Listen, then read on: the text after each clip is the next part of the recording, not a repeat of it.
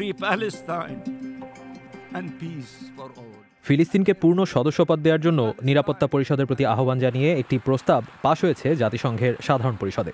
শুক্রবার এই প্রস্তাবের পক্ষে ভোট দিয়েছে জাতিসংঘের একশো তিরানব্বইটি পূর্ণ সদস্য দেশের একশো তেতাল্লিশটি দেশ। পঁচিশটি দেশ ভোট দেওয়া থেকে বিরত থেকেছে। আর এর বিপক্ষে ভোট দিয়েছে যুক্তরাষ্ট্র, ইসরায়েল, আর্জেন্টিনা, হাঙ্গেরি সহ নয়টি দেশ।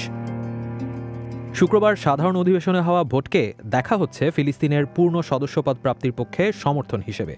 শুক্রবারের এই প্রস্তাবে ফিলিস্তিনকে যে বাড়তি সুবিধা প্রদান করা হয়েছে, এর ফলে এখন থেকে তারা জাতিসংঘের যে কোনো আলোচনায় পূর্ণ অংশগ্রহণ করতে পারবে যে কোনো এজেন্ডা উত্থাপন করতে পারবে ও বিভিন্ন কমিটিতে তাদের প্রতিনিধির উপস্থিতি নিশ্চিত করতে পারবে।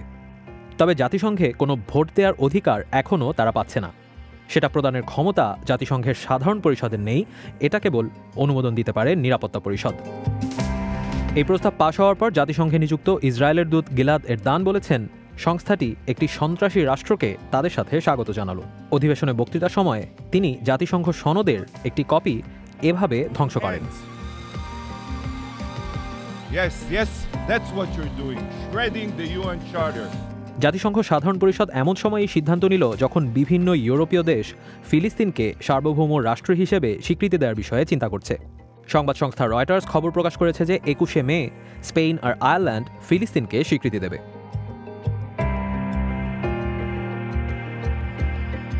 শুক্রবারে সাধারণ পরিষদে পাশ হওয়ার পর এখন এই প্রস্তাব নিরাপত্তা পরিষদে উত্থাপিত হবে। নিরাপত্তা পরিষদে পাশ হলেই এই প্রস্তাবটি জাতিসংঘে গৃহীত হবে। নিরাপত্তা পরিষদের পনেরোটি সদস্য দেশের মধ্যে, পাঁচটি স্থায়ী ও দশটি অস্থায়ী সদস্য। নিরাপত্তা পরিষদে কোনো প্রস্তাব পাশ হলে সাধারণ পরিষদে এ নিয়ে ভোট হয়, যাতে দুই তৃতীয়াংশ ভোট পেলেই চলে। তবে নিরাপত্তা পরিষদে যে কোনো খসড়া প্রস্তাব পাশ হওয়ার জন্য পাঁচটি স্থায়ী সদস্যেরই ভোট লাগবে। যুক্তরাষ্ট্র, যুক্তরাজ্য, রাশিয়া, চীন ও ফ্রান্স এর কোনো একটি সদস্য ভেটো দিলে প্রস্তাবটি আটকে যাবে। সাধারণ পরিষদের এই ভোট জাতিসংঘের সদস্য হতে ফিলিস্তিনের পক্ষে যে বৈশ্বিক সমর্থন রয়েছে, সেটিকেই আবারও তুলে ধরল।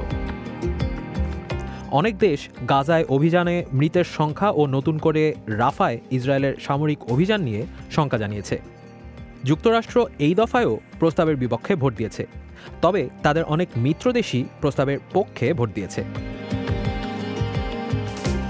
ইসরায়েলের বিপক্ষে ও ফিলিস্তিনের পক্ষে যে সমর্থন বাড়ছে, সেটাও প্রমাণ করে সাধারণ পরিষদে ভোটের ফলাফল।